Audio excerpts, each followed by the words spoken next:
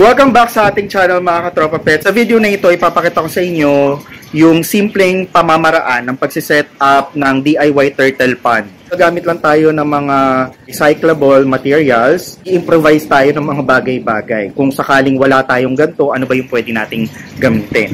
So dito, masasagot natin yung mga tanong, paano po kung wala po akong budget para sa UVA, UVB lamp, paano po gumawa ng simpleng basking area,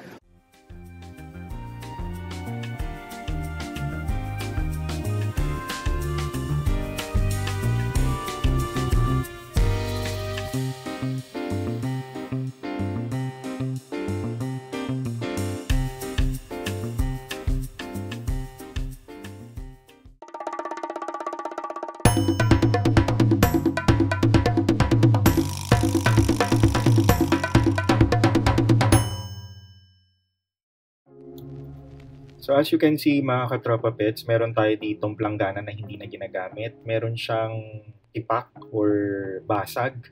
At nakikita nyo naman may butas na siya, nilagyan na lang natin ng glue stick. Para maitago natin yung tipak na yan, nilagyan natin ng halaman sa likod. Pagdating naman sa lalim ng tubig mga katropa pets, kapag ang Asian box turtle ninyo ay wala pa sa 2 inches yung haba, dapat 2 to 3 inches lang yung lalim ng tubig.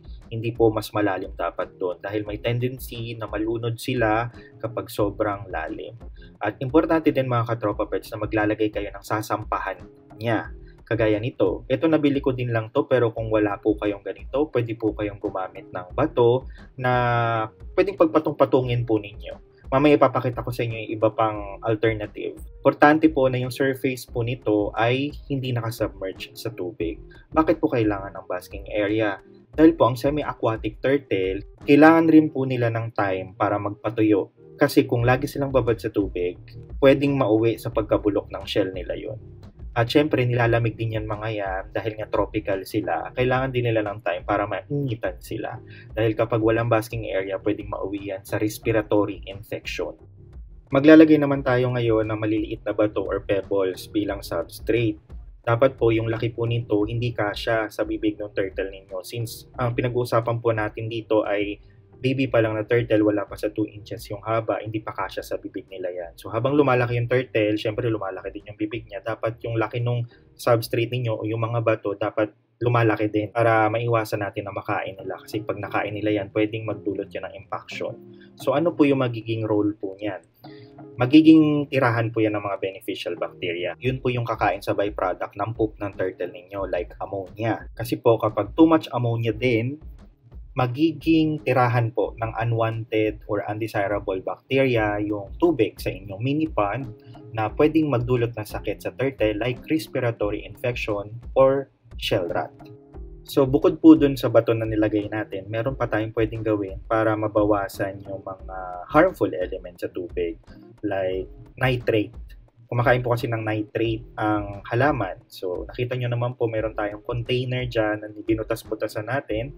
Lalagyan din natin siya ng pebbles. Siya nga pala mga katropa pets, dapat yung mga pebbles na gagamitin ninyo, anything na ilalagay nyo sa tubig, dapat po ay dinisinfect nyo po yan. Hinugasang mabuti using running water at binandian mo na na mainit na tubig. Lalagyan natin siya ng halaman at dapat yung halaman ay pwedeng mabuhay sa tubig. At syempre, mag-research din kayo kasi may mga plants na nakakalason para sa turtle. Kasi baka makain nila yan, malason pa sila. So, demo lang ito mga katropa pets ha. Kasi ito, more than 2 inches na yung haba niya. So, dapat mas malalim na yung tubig. At mas malaki na dapat yung pond niya.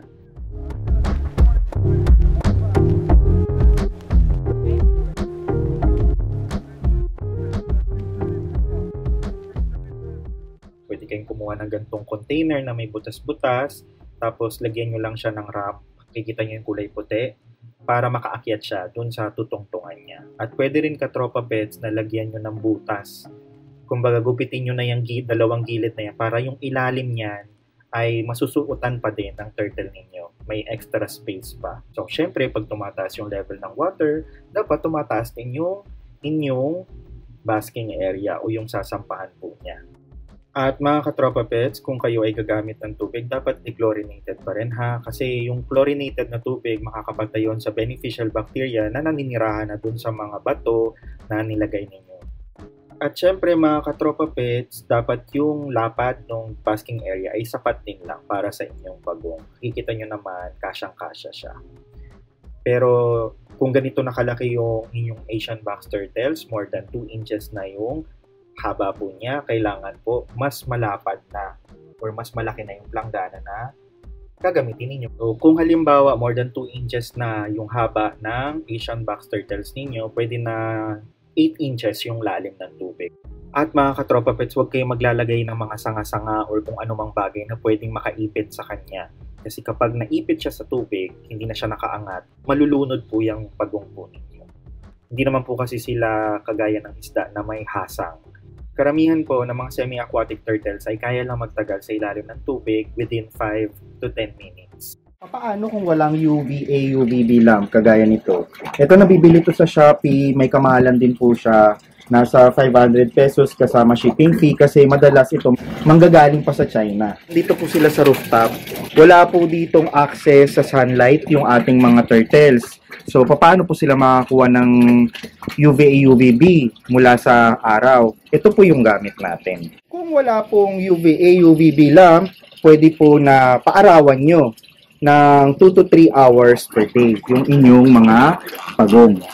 Daily po yun ha, 2 to 3 hours. Or yung gagawin nyo pong pond po, dapat yung sampahan po nila naka-expose sa araw. Huwag nyo pong i-expose lahat sa araw yung buong planggana. Dapat din po may konting shade para dun po sila magpapahinga kung sakaling sobrang naiinita na sila. Kailan ba magpapalit ng tubig? Ito kasi, since meron akong filter, ito pinapalitan ko po ito once a month na. Kasi malaki naman po siya eh. 50%. Wala naman po ako nagiging problema doon. Sinasabay ko na rin po itong filter sa paglilinis kapag ako'y nagpapalit ng tubig. Pero kung wala po kayong filter, kagaya nito, kailangan po magpalit po kayo ng 50% every other day. Bakit po? Kasi sobrang madumihin ang mga pagong. Pag kumain po sila, sobrang messy nila, pwede po bang 100% na? Hindi po. Para may natitira pa rin pong beneficial bacteria dun sa inyong DIY mini pond.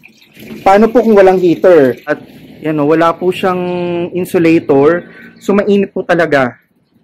Kaya okay lang po na wala silang heater dyan.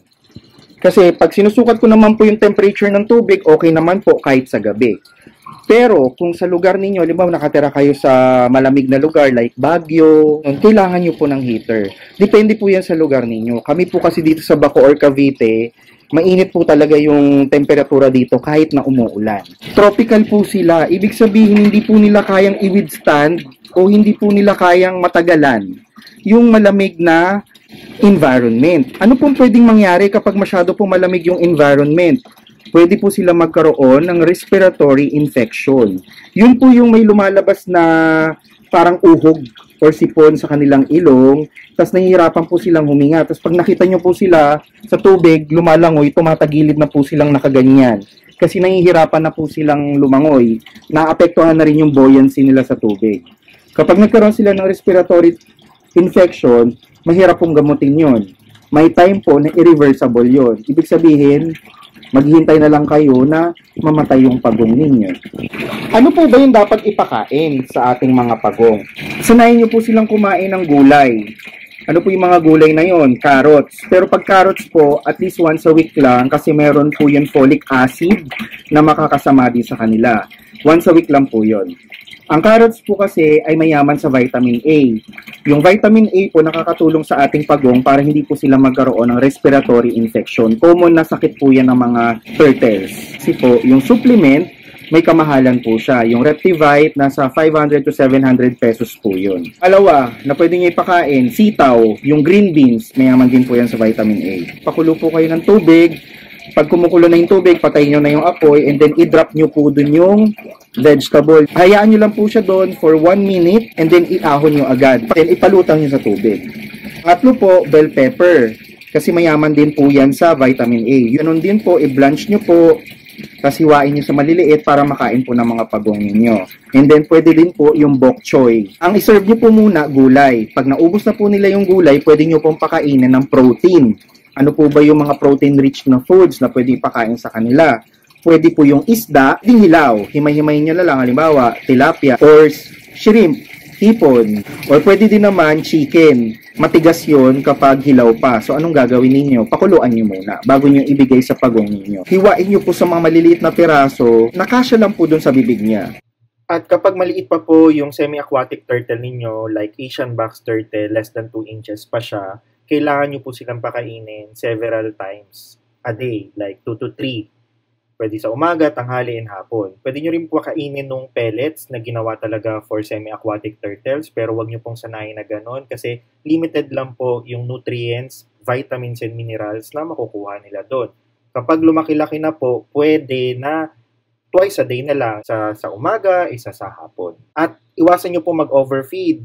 Obserbahan nyo po, yung kaya lang nilang ubusin within 5 minutes, yun lang yung ipakain nyo sa kanila. That's it for today's video mga katropa pets. Kung meron kayong mga questions, mag-post lang or mag-comment lang sa ibaba. Sasagutin po natin yan at wag nating kalilimutan na lagyan po natin yan ng hashtag katropa pets para po masama po yan sa raffle contest natin. Available lang po ito sa mga naninirahan dito sa Philippines. Ako na po yung mag-order sa Lazada or Shopee para dun sa mananalo. At kasama na po dun yung shipping fee. I-announce na natin yung nanalo ng 500 pesos worth na pet-related item dun sa last na video natin. Congratulations, Marites Villapuerte! Kita-kits tayo sa next na video next week. Maraming maraming salamat sa patuloy na pagsuporta sa ating channel. God bless you.